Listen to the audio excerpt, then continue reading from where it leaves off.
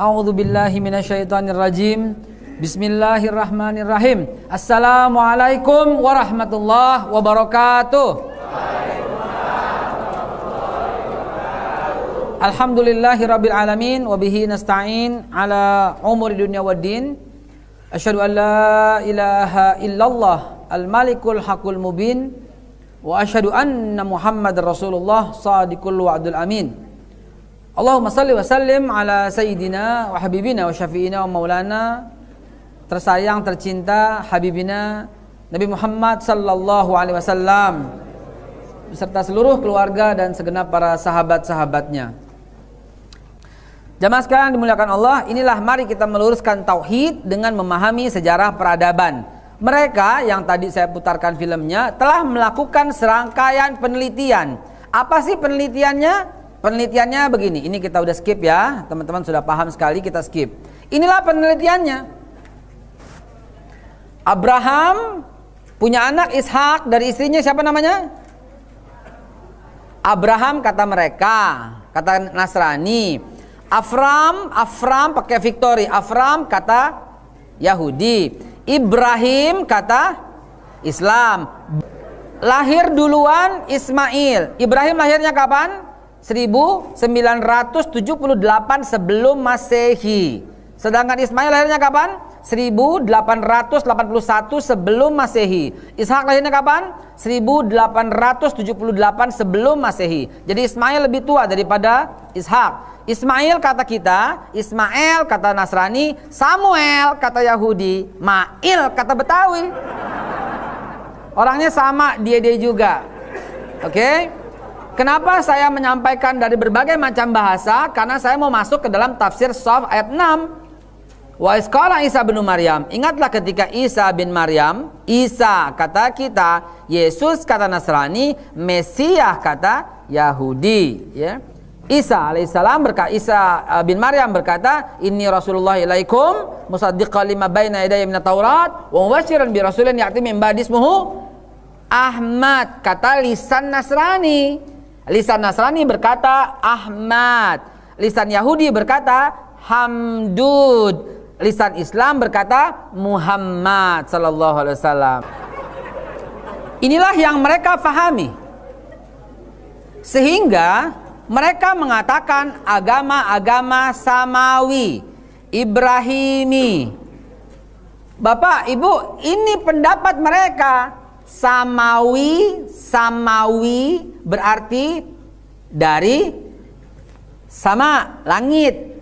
Berarti dari Allah. Berarti Judaism atau ini punya siapa nih? Nyala nyala ini gimana? Ini Yudaism Yahudi dari Tuhan. Kristen dari Tuhan. Islam dari Tuhan. Katolik dari Tuhan. Ortodok dari Tuhan. Protestan dari Tuhan. Syiah pun dari Tuhan. Sunni pun dari Tuhan. Inilah konsep mereka Agama-agama samawi, agama yang berasal dari Tuhan. Kita jawab apa? Pa le lo. Agama samawi berasal dari langit. Tidak. Tidak. Istilah kata orang Betawi palelo. Kenapa palelo? Kita mundur sebentar. Lihat, Allah bertanya Suratul Baqarah 140 am takuluna inna Ibrahim wa Ismail wa Ishaq wa Yaqub wa lasbat kanuhu dan au nasara apakah lu kire nah, am takuluna itu apa lu kire apakah kalian mengira atau kalian mengatakan sesungguhnya Ibrahim Ismail Ishak Yakub dan anak cucunya kanu adalah mereka Hudan Yahudi au Nasara tidak Antum a'lam amillah. Lu yang lebih tahu atau Allah? Waman azlamu ini dipakai lagi oleh Allah dalam surat Sof ayat yang ketujuh. Koneksi antara ini dengan ayat surat Sof yang ketujuh cantik sekali. Karena ayat ini mengatakan, ayat sebelumnya mengatakan Yahudi uh, apa Ibrahim Ishak itu mereka berkata wa nahnu lahu muslimun, kami semua orang Islam. Dan surat Sof itu mengatakan waman azlamu mimman iftara 'ala Allahil kaziba wa huwa yud'a ilal Islam. Jadi surat Sof ayat 6 mengatakan Wa isqala Isa bin Maryam. Ingatlah ketika Isa bin Maryam. Jadi Isa bin Maryam wahwa yud'a ilal Islam. Padahal kaum itu, kaum Isa itu yud'a ilal Islam, diajak kepada Islam. Yang ajak siapa? Isa. Ayatnya masih cerita soal itu. Lengkapnya ayatnya wa isqala Isa bin Maryam ya bani Israel inni rasulullah ilaikum musaddiqan lima baina yadaya wa min at-taurat wa wa Taurat wa basyiran wa mubasyiran bi rasulillah Muhammad. Ya. Enggak boleh cepat-cepat dalam baca Quran. Minasyaitonir rajim. Wa isqala Isa bin Maryam ya bani Israel inni rasulullahi ilaikum musaddiqan lima baina yadayya minat taurati wa mubashiran bi rasulin ya'ti min ba'di ismuhu Ahmad. Falamma ja'ahum bil bayinat qalu hadza sihrun mubin. Wa man azlamu mimman iftara 'ala Allahil kaziba wa huwa yud'a ilal Islam. Ayat terakhir surat Sof masih cerita soal Isa Wa isqala Isa lil hawariyina man ansari ila Allah qala al hawariyuna nahnu ansarallah fa amanat ta'ifatu min bani Israil wa kafarat ta'ifah fa ayyadna alladhina amalu ala aduhim fasbahu zahirin sampai terakhir. Nah, sahabat sekalian, pertanyaan ini langsung menggugurkan teori bahwa Musa eh Taurat diturunkan Allah untuk Nabi Musa eh, kepada Nabi Musa untuk umat Yahudi Demi Allah tidak. Katakan itu. Karena anak-anak kita tengah dirusak kepalanya, pikirannya oleh cara-cara seperti ini. Eh, itu agama samawi. Yahudi itu dari Tuhan. Nasrani dari Tuhan, Islam juga dari Tuhan. Anak saya saya ajarin, nah kalau Pak Guru ngomong begitu, Bu Guru bilang begitu, bilang ini palelo. Jamaah sekalian, yang dimulakan Allah Subhanahu wa taala. Jadi kita bantah ini bahwa dengan fakta yang jelas sekali timeline of Abrahamic religions telah diracuni pikiran kita bahwa Yahudi is the first. Lihat lambangnya itu apa? Star David, bintang Daud. 1400 BC. Ya. Dia bilang apa? Torah established. Taurat the Jewish religion, agamanya orang Yahudi. Lalu 600 ya Old Statement writer switch from polytheism to monotheism, believe one God start. Inilah awal mula mereka meyakini satu Tuhan. 600 ya meleset-meleset sedikit ya. Padahal 630 sebelum Masehi. Lalu kemudian birth of Jesus give rise to Christianity 400 before Christ. Masuklah agama Kristen. Christian. Dan lihat 610 ya, preaching of Muhammad sallallahu alaihi wasallam start the Islamic faith. Start. Ini nyakitin hati kalimatnya, Saudara. Sakit hati ini membacanya. Start. Islam dimulai. Bahasanya halus sekali. Islam dimulai. Tidak Kenapa tidak? Mari kita bongkar sejarah yang sebenarnya. Kita buktikan. Padahal sih kalau umpamanya dengan satu ayat itu udah gugur. Surat Hajj ayat yang ke-78. Tolong bacakan.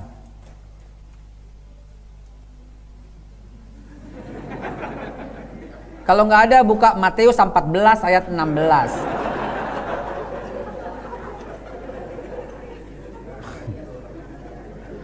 Itu Injilnya. Kalau Tauratnya buka surat Kejadian ayat 7 ayat 6.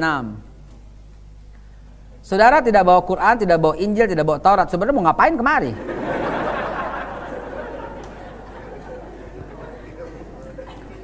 Di sana disebutkan, ikuti agama nenek moyangmu itu Ibrahim dan kalian dan Allah Subhanahu wa taala menyebut kalian muslim sejak dahulu. Wasam yang muslim min qabl. Jadi Allah mengatakan Ibrahim itu adalah muslim. Maka na Ibrahimu Yahudiyan wala Nasraniyan walakin Hanifa Muslim. Jelas sekali ayatnya. Jadi teori-teori ini gugur Eh Ustaz, tak dulu. Itu kan kata Ustaz, Al-Quran berkata begitu. Oke? Okay? Oke, okay. mari kita buka sejarah, kita tutup Qurannya, kita tutup semua, kita bongkar dengan sejarah.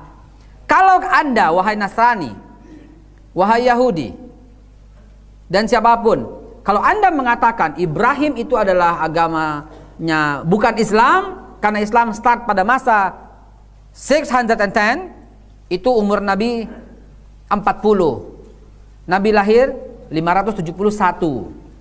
Berarti 610 Nabi mendapat wahyu. Start, tidak. Nabi Muhammad bukan bukan Nabi Muhammad yang membawa Islam. Ini saya ulangi sekali lagi. Bukan Nabi Muhammad yang membawa Islam. Islam sudah ada jauh sebelum Nabi Muhammad sallallahu alaihi wasallam. Jangan dipotong rekamannya. Bukan Nabi Muhammad yang membawa Islam. Islam sudah ada jauh sebelum Nabi Muhammad. Al-Hajj 78, Al-Baqarah 140, Al-Baqarah 132, Ali Imran 85, Ali Imran 86, Ali Imran 94. Semua cerita soal itu. Oke, kita tutup Qurannya. Sekarang kita bongkar sejarahnya. Ibrahim alaihi salatu wasalam lahir di desa Ur, Babilonia. Ibrahim lahir di Babilonia di pada zaman Raja Mesopotamia. Ini kita ngobrol soal ensiklopedia Americana atau ensiklopedia Britania atau Wikipedia. Ibrahim lahir desa Ur, Babilonia 1978 ini pada zaman kerajaan Raja Mesopotamia. Pada zaman Raja, Raja Mesopotamia mereka politeism, banyak Tuhan, banyak patung dan menjadikan patung sebagai Tuhan-Tuhan mereka. Ibrahim sebelum bertauhid dia menuhankan bulan. Hazarabi katanya. Namun ketika bulan di malam hari ada, siang hari tiada, Ibrahim mengatakan ini bukan Tuhan. Dan dia melihat matahari yang besar dan dia berkata Hazarabi, Hazar Akbar ini Tuhan, ini lebih besar dari yang dan seterusnya sampai Ibrahim menemukan kalimat inni wajahtu wajhiya lillazi fatara samawati wal ard ila akhir ayah wa ana awalul muslimin. Maka Allah mengatakan, ya top marko top loh, Boim. Lo akan jadi pemimpin manusia. Nah, jadi Ibrahim yang ditunjuk oleh Allah sebagai pemimpin itu di, diabadikan dalam Al-Quran. Ini jailu kali nasi imaman. Aku akan menjadikan kau imam. Imam dari seluruh manusia. Maka Ibrahim adalah tokoh yang sangat dihormati. Islam menyebutnya sebagai Al-Khalil. Kekasih Allah Al-Khalil. Nasrani menyebutnya Abraham bapak kami Abraham.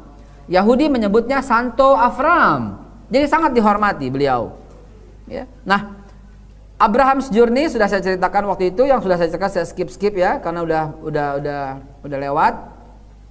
Ini udah, ini udah, ini udah, udah. Ini kesimpulan sejenak. Jadi Ibrahim alaihissalatu wassalam, ya ini ayatnya 144 eh 134 wa izibtala Ibrahim rabbuhu bikalimatin fa'atamahunna qala berkata Allah ini sesungguhnya aku jailuka menjadikanmu linasi sebagai seluruh manusia imaman pemimpin ya. Jadi Ibrahim punya anak Ismail 1891 dan Ishak 1878. Ismail lahir dari seorang wanita mulia keturunan raja bukan budak. Kita sudah bahas. Namanya Hajar. Hajar kata Muslim, Hagar kata Nasrani, Hagai Hagai kata Yahudi. Siti Hajar kata orang Jawa nggak apa-apa bahasa doang orangnya sama dia dia juga disebut Siti karena orang wanita sebagai dakwah dari Wali Songo semua yang wanita dipanggil Siti Siti Hajar, Siti Sarah, Siti Aisyah, Siti Khadijah, gitu kan? Siti, Siti, Siti, Siti. Ini karena bahasa Wali Songo bahasa dari Jawa yang menye, me, menyamaratakan. Jamus kalimah sodo, jimat kalimah syahadat gitu lah. Siti dari Sayyidah. Sayyidah, Sayyidah, orang iso ngomong Sayyidah, Sayyidah jadi Siti.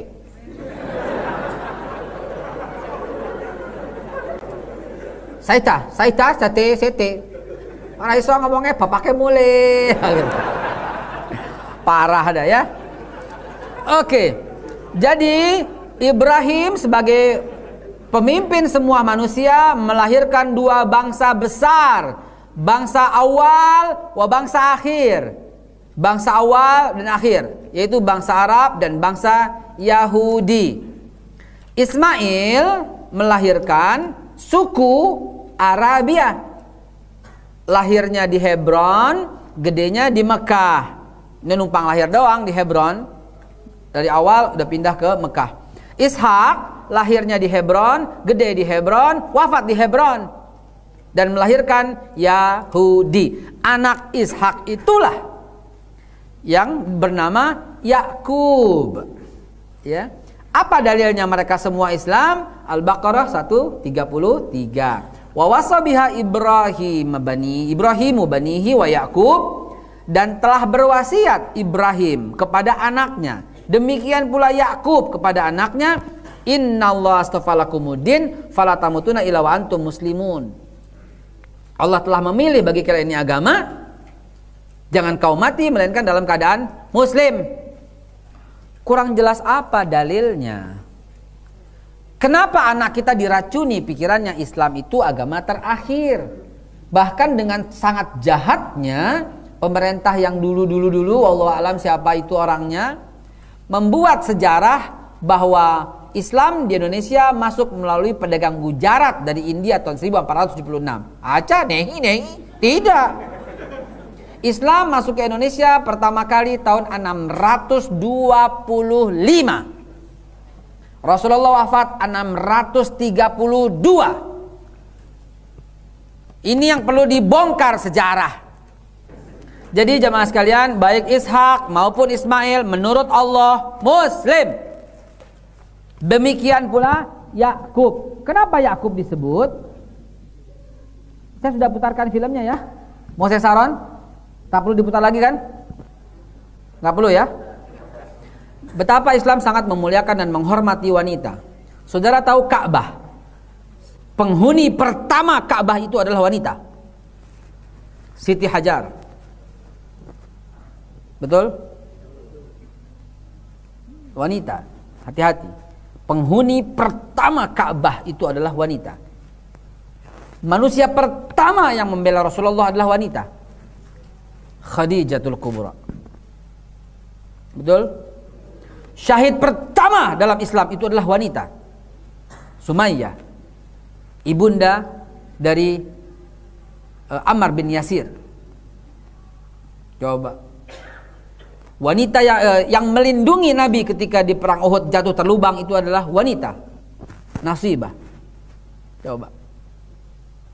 Ya, kurang apa? Kurang ajar ente sama wanita. Jadi jamaah sekalian, Musa alaihissalam berdasarkan sejarah mengatakan Taurat diturunkan oleh Allah kepada Nabi Musa itu untuk umat Islam zaman Musa. Sedangkan Injil diturunkan Allah untuk umat Islam zaman Isa. Sedangkan Al-Quran diturunkan Allah untuk umat Islam zaman Nabi Muhammad. Ini yang benar, karena ini berdalil. Ketika Allah bertanya, Am takuluna inna Ibrahim wa Ismail wa Ishaq wa Yaqub wa asbat kanu dan Nasara? Apakah kalian mengatakan Musa, Isa, Ibrahim, Ismail, Ishak, Yakub itu Yahudi Nasrani? Tidak. Bahkan Allah sendiri yang bantah surat Ali Imran ayat 67. Maka na Ibrahimu Yahudiyan wala Nasraniyan walakin kana Hanifa muslima wa makana minal musyrikin. Tidaklah Ibrahim itu Yahudi atau Nasrani, tapi dia seorang yang lurus dan beragama Islam. Dalilnya lagi diperkuat lagi di ayat uh, Ali Imran ayat 84, Kul katakan aman nabilah wa ma unzila alaina wa ma unzila ala Ibrahim wa Ismail wa Ishaq wa Yakub. Yakub selalu disebut walasbat dan anak cucunya dan disebut juga wa ma utiya Musa wa Isa. Dan apa yang turunkan kepada Musa dan Isa. Wan nabiyyuna min rabbihim dan seluruh nabi. Jamak. Seluruh nabi dari Tuhannya. La nufarriqu baina ahadin minhum. Tidak kami bedakan satupun di antara mereka tafsir Buya Hamka yang barusan dan ini ada tafsir Ibn Katsir yang dibaca yang yang saya bacakan barusan uh, makna atau tafsir dari la nufarriqu baina ahadin minhum kami tak membedakan satupun di antara mereka itu karena mereka membawa semuanya agama Islam. Itu tafsir Al-Azhar. Dalilnya langsungin aja lanjutin aja wa nahnu lahu muslimun dan kami semua orang muslim Wa may yabtaghi ghairal islami dinan fala minhu wa fil khasirin. Dan siapa yang mencari agama selain Islam nggak bakal diterima, menjadi orang yang rugi. Nah, jamaah sekalian, kalau di sana disebut Ishak, maka kita bahas lagi Ishak. Ishak alias Iskak alias Isaac punya anak Yakub alias Yakob alias Israel alias Yakobus. 1829 lahirnya sebelum Masehi. Yakub alias Yakob alias Israel disebut Israel Isra nabi yang berjalan. Isra Mi'raj ingat Isra Mi'raj. Jadi Israel nabi yang berjalan. Dialah Nabi Yakub. Sehingga Bani Yakub, Bani Yakub adalah Bani Israel. Dan Yakub berwasiat kepada anak-anaknya. Itulah Al-Baqarah 132. Singkat ceritanya begini. Singkat ceritanya begini. Yakub punya anak 12 ya, anaknya dari empat istri. Istri pertama namanya Lea. Dari Lea uh, lahir enam anak ya. Yang paling tua Ruben, Simon, Levi, Ruben, Simon, Levi, Yuda, uh, Zebulun, Isakar. Lalu kemudian uh, Bilhah, lalu kemudian Zilfah, yang terakhir Rachel. Rachel itu kata lisannya Yahudi. Rebeka lisannya Nasrani, Ribka, Ribka lisannya Islam. Orangnya sama dia juga. Singkat cerita, anaknya 12, 12 12-nya muslim, cuma mereka iri kepada Yusuf dan Benyamin. Kenapa iri? Karena Yakub alaihissalam lebih dekat kepada Yusuf dan Benyamin. Kenapa lebih dekat kepada Yusuf dan Benyamin? Karena setelah melahirkan Yusuf, Rachel wafat. Rebeka meninggal. Ribqah ajal. Sama aja. Ya. Nah, ini dia. Karena wafat, meninggal, ajal sehingga Yakub lebih dekat kepada mereka berdua karena nggak ada maknya lagi, betul? Itulah Bani Yakub, Bani Israel. Ternyata, ternyata pada zaman itu ada seorang yang besar sekali yang bernama Jalut. Tak bisa dikalahkan dan Allah mengangkat Talut sebagai raja. Al-Baqarah 247. Allah bercerita, Allah mengangkat Talut sebagai raja. Untuk apa? Untuk 12 suku ini gitu. Lalu kemudian Talut punya anak namanya Yonatan dan kedua Michal. Ya. Nah, pada zaman itu ada seorang anak muda keren, gagah namanya David. David berhasil mengalahkan Talut, Jalut. Jalut itu Goliath, Goliath. David, Devi, Daud. Ceritanya David and Goliath kata Nasrani. David and Goliath kata Yahudi, Daud dan Jalut kata Islam. Orangnya sama, sama ceritanya. Ya. Nah, sahabatku yang dimuliakan Allah, kalau kata kata mereka Saul ya, kurang lebih 1028 sebelum Masehi. Berhasillah. Berha ini kitab mereka. Berhasillah Daud mengalahkan Jalut sehingga Talut cinta dan sayang kepada Daud. Maka Talut punya anak dua, pertama Yonatan, kedua Michal. Daud dinikahkan oleh Michal dan jadilah Daud mantu Raja Talut. Nah, kemudian ketika Allah mengangkat Daud sebagai raja, ya, jadilah kerajaan ini besar sekali. kerajaan Israel menjadi besar sekali, masih agamanya Islam. Belum ada Yahudi. Ini saya cerita soal kelahiran agama Yahudi. Belum ada. Semua masih Islam. Tidak ada yang namanya Yahudi. Baru kemudian ketika Daud wafat, ya, Daud wafat tahun 970. Baru kemudian Daud alaihissalam wafat tahun 970 sebelum Masehi, Daud melanjutkan kepada Nabi Sulaiman, Sulaiman bin Daud. Ya. Nah, pada zaman Nabi Sulaiman dalam hadis Nabi uh, Nabi uh, Tirmizi, uh, Sulaiman kata Rasulullah memerintah Israel selama 40 tahun. Kalau Nabi Sulaiman memerintah Israel 40 tahun dan Nabi Daud wafat 970 sebelum Masehi, Berarti Nabi Sulaiman wafat tahun 930. Nyambung ya? 970 kurang 40. 40 tahun kata Nabi memerintah. Berarti tahun 930 Sulaiman wafat. Ternyata klop di dalam Injil bahwa divided kingdom with Israel and Judah on 930 BC. Tuh. Ya. Nggak kelihatan. Jadi divided kingdom telah terpecah kerajaan jadi dua. Pertama Israel agamanya apa? Islam. Jangan ragu-ragu agamanya apa? Islam. Bani Israel itu Bani Yakub. Agamanya masih Islam. Surat Saf ayat 6 itu menyatakan banget bahwa mereka itu Islam. Kerajaan yang kedua bernama Yudah. Inilah awalnya dari Yahuda. Seperti di bagan ini. Yahuda bikin keturunan dari Yahuda membuat agama baru. Kenapa? Begini ceritanya. Jadi ketika Talut wafat, Talut berwasiat setelah aku Daud sebagai raja. Daud wafat berwasiat setelah aku Sulaiman yang menjadi raja. Sulaiman wafat tidak diketahui kecuali tongkatnya dimakan rayap. Sehingga divided kingdom, pecah dua kerajaan. Kerajaan pertama Israel, Islam. Kerajaan kedua ya uh, Yudah. Agamanya Yahudi. Inilah awal mula ada agama baru di muka bumi. Demi Allah bukan Allah Subhanahu wa taala. Kenapa Allah difitnah? Ente kalau fitnah jangan Allah deh. Berat, Bo berani banget fitnah Allah. Kan semua agama dari Tuhan. Tidak.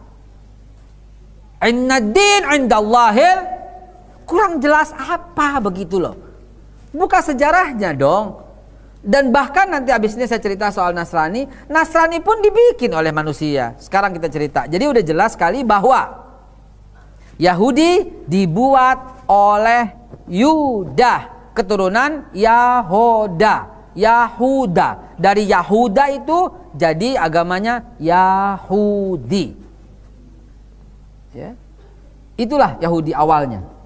Lalu mereka kitabnya dari mana? Kitabnya dimodifikasi. Nanti ya 620 sebelum Masehi mereka ingkar kepada Nabi Musa dan memodifikasi Taurat menjadi Talmud.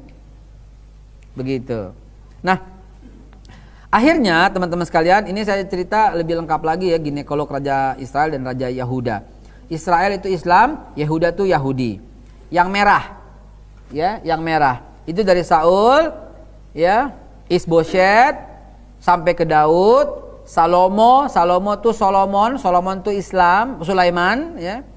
Punya anak Yerobeam dari mereka lahirlah ginekolog raja-raja dari Yahudi sedangkan dari Rahebeam sampai ke bawah lahirlah agama orang-orang is is Islam. Nasrani belum belakangan.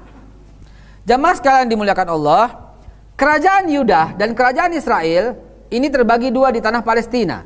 Israel Muslim, Yudah Yahudi. Nasrani belum ada. Terus terus terus kemudian sampai tahun uh, uh, setelah kenabian Sulaiman siapa berikutnya? Zakaria. Yahudi berkuasa. Dia membunuh nabi-nabi yang gak cocok dengannya. Setelah Sulaiman wafat, kemudian nabi berikutnya Zakaria dibunuh oleh Yahudi, betul? Zakaria digergaji di belah dua. Zakaria wafat, yang gantikan siapa? Berikutnya Yahya. Yahya dipenggal lehernya oleh Yahudi. Habis Yahya siapa? Isa alaihissalam. Isa disalib oleh Yahudi. Versi mereka. Hah? Kaget. Biar aja tenang aja, tenang, tenang.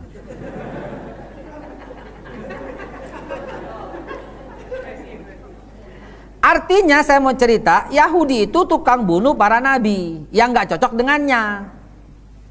Ya, Zakaria, wah nggak cocok, digaji. Yahya nggak cocok, dipenggal. Isa nggak cocok, disalib. Itulah kerjaannya. Dan akhirnya Islam tidak berkembang. Islam nggak berkembang. Kenapa? Takut semua. Ya, akhir dari pembunuhan Isa alaihissalam membuat Yahudi semakin mermaharajalela. Kejadian itu terjadi tahun 33 Masehi. 34, 35, 36, 37 terbentuklah sebuah ajaran Freemason. Tahun 37 Masehi. Terbentuklah itu Illuminati. Sebuah organisasi terlama di dunia. Sampai hari ini. Ya, sampai hari ini. Kapan-kapan kita cerita lengkap soal Freemason. Ya. Saudaraku sekalian dimuliakan Allah, tinggal 15 menit. Jadi Allahu Akbar, Allahu Akbar, Allahu Akbar walillahil ilham telah yang telah memasukkan Islam ke dalam hati sanubari kita yang nggak bisa digeser-geser lagi. Insya Allah amin ya Allah ya Rabbal alamin. Jadi Yahudi membunuh para nabi-nabi itu karena nggak cocok. Apalagi Nabi Isa merupakan nabi yang difitnah sebagai anak haram. Lahirnya di mana? kandang domba. Di mana kotanya? Bethlehem.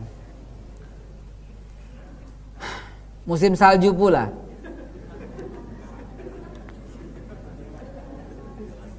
Sian banget. Sian deh lo. Waskur fil kitabi.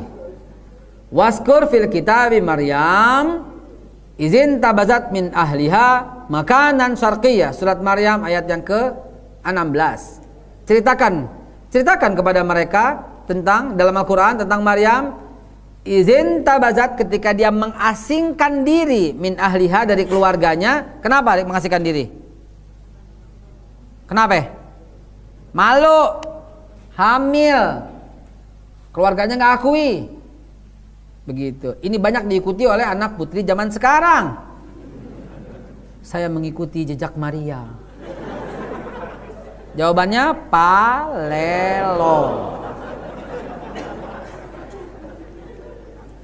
Lihat dong berikutnya.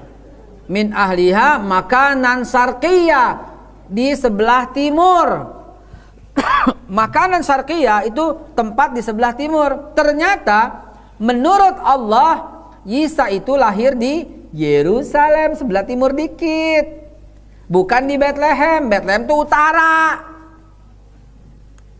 Jadi dengan satu dalil aja udah gugur. Bukan Isa yang lahir di kandang domba di Bethlehem. Bukan. Gak tahu siapa. Emang gue ada zaman itu. Kalau gue jadi tetangganya gue tahu. Makanan Sarkeya itu di sebelah timur. Sedangkan Bethlehem tuh di utara. Gitu loh. Nah, jadi positif sekali bukan Isa. Bahkan uh, surat Maryam berikutnya ayat yang ke-22, 23, 24, 25, 26 bercerita lebih lengkap lagi bahwa uh, uh, ketika malaikat mendatanginya sudah lelah dan hampir saja melahirkan, malaikat menyuruh mengambil air di dataran rendah itu di sungai. Kenapa Allah? Emang Allah iseng apa nyebut dataran rendah?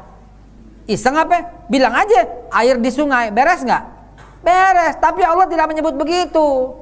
Allah menyebut sungai yang ada di dataran rendah. Artinya apa? Buat buka mata bahwa yang namanya sungai kalau di dataran rendah masih ada air itu namanya musim panas. Betul? Kalau musim salju, beku. Betul? Fakta kedua. Fakta ketiga, goyangkanlah pohon korma itu kata Allah. Niscaya akan turun buah kurma yang masak. Kurma hanya berbuah di musim panas. Tidak ada kurma berbuah di musim salju, nggak ada. Karena kurma tidak tumbuh di musim salju, bahlul. Betul. Mana ada kurma di musim salju? Ya. Dalil berikutnya uh, Injil Korintus surat juz 7 ya. Injil Korintus mengatakan bahwa ketika padang rumput tinggi itu domba-domba sedang digembalakan di malam hari. Kalau domba menggembala di malam hari dan rumputnya itu tinggi, subur, itu pasti musim panas. Karena kalau musim salju, dombanya jadi freezer. Betul? Jadi dalam surat uh, di di di Matius eh, di Yohanes 7 eh, Yohanes 14 kalau saya tidak salah Yohanes 14 juga diceritakan gitu loh. Juga diceritakan bahwa ketika malam purnama, bulan-bulan penuh uh, bulan purnama, langit-langit penuh bintang, maka saat itulah Yesus lahir bintang bersih, banyak bintang dan bulan purnama itu bukan musim salju. Jadi yang lahir di Bethlehem dan musim salju itu bukan Isa tapi center class.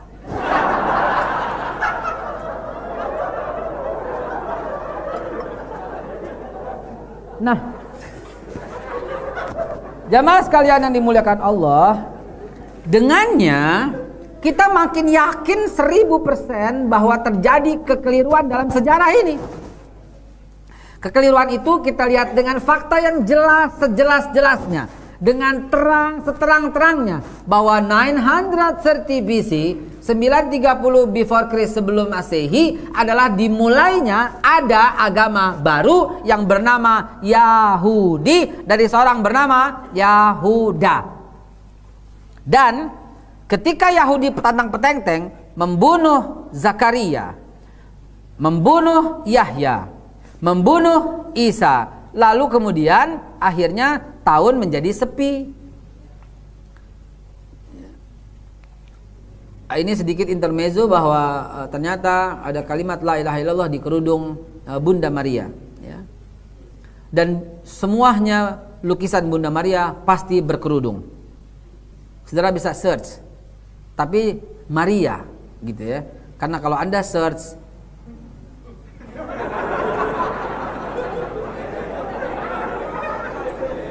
tambahin Ozawa beda.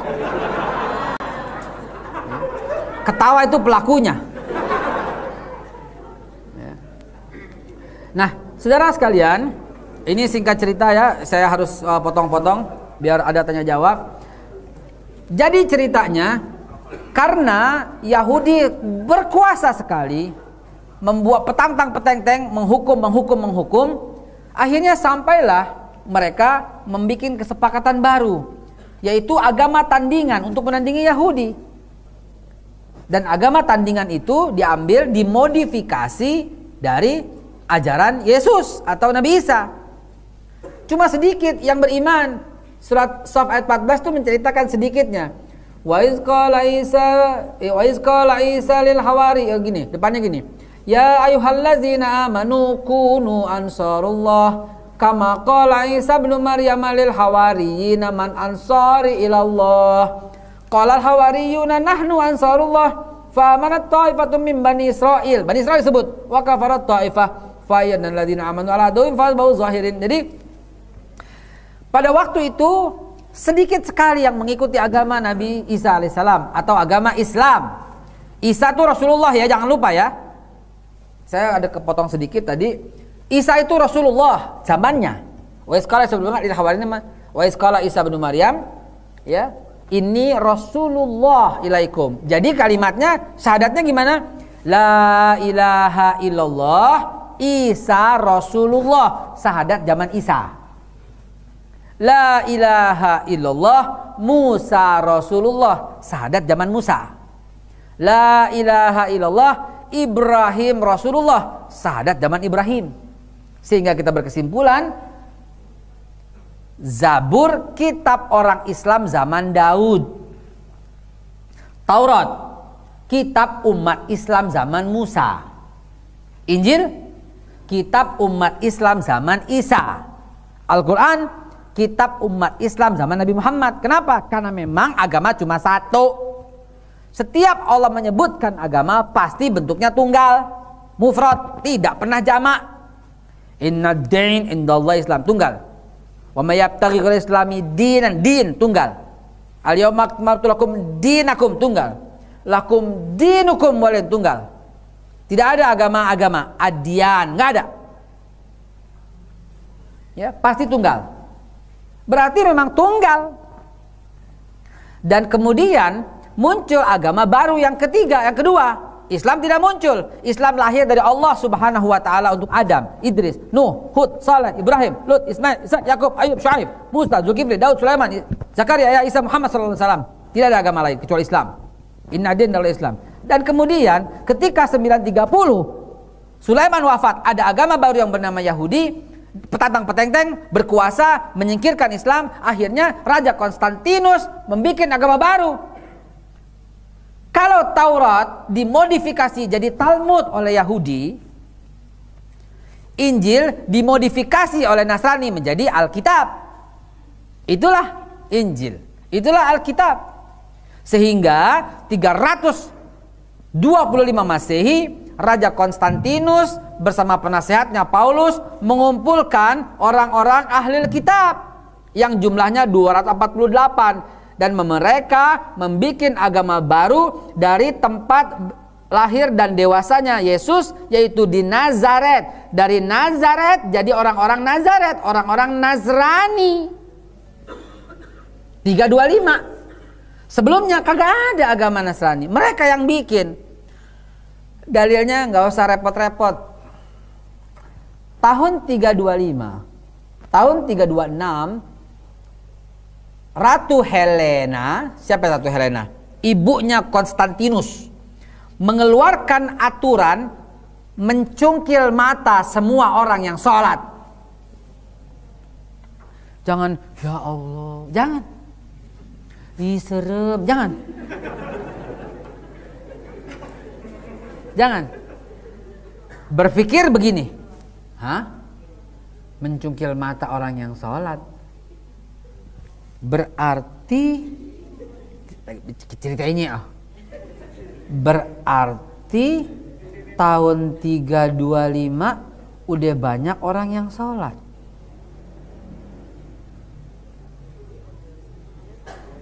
Oh, berarti mereka Islam. Gitu mikirnya. Jangan cungkil, ih berdarah. Jangan. Oh, mencungkil mata orang yang sholat. Berarti mereka sholat dong. Berarti Islam dong. Ya Allah, kok mereka nggak terbuka ya? Gitu loh. Itu ada pak. Ya, itu ada. Dan ketika orang Islam, orang Islam didapati sholat yang kedua, maka disalib, dibunuh. Jadi Peraturan yang dibuat oleh Raja Konstantinus bersama Paulus dan Ratu Helena mencungkil mata orang yang sholat untuk orang Islam. Yang mereka nggak mau kehilangan mata dan kehilangan nyawa. Keluarlah mereka dari Yerusalem. Ke mana mereka berpencar? Ada Salman Al-Farisi di Iran. Ada Abizal Al-Ghifari di suku Ghifar. Ada Bilal bin Rabah di Damaskus. Ada Mus'ab bin Umair.